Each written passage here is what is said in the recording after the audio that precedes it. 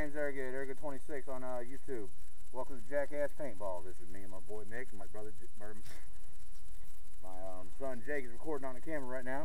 What we're going to do here is we're going to play a little bit of paintball in the yard. Jake's on the field. Basically build out anything you can find in any typical yard, tires, plastic, sawhorses, whatever. But what we're going to do right now is we're going to we're going to set this thing up here. We're going to have a nice, nice little nighttime paintball racing hell.